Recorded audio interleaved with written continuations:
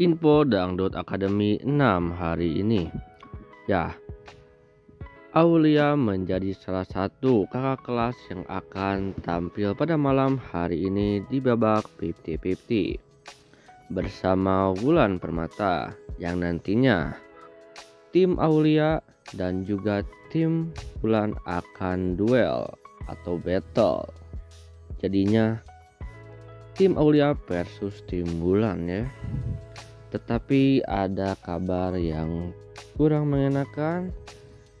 Dan ya Aulia ternyata dari Sabtu hari kemarin sakit ya guys ya. Dan kita doakan semoga cepat sembuh.